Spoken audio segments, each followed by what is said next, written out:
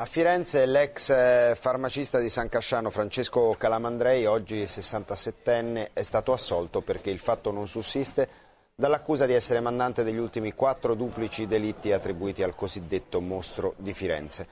La sentenza è stata emessa questa mattina dal eh, GUP, il eh, giudice per l'udienza preliminare Silvio De Luca, al termine del processo con rito abbreviato, apertosi il 27 di settembre eh, di un anno fa. L'accusa aveva chiesto 30 anni.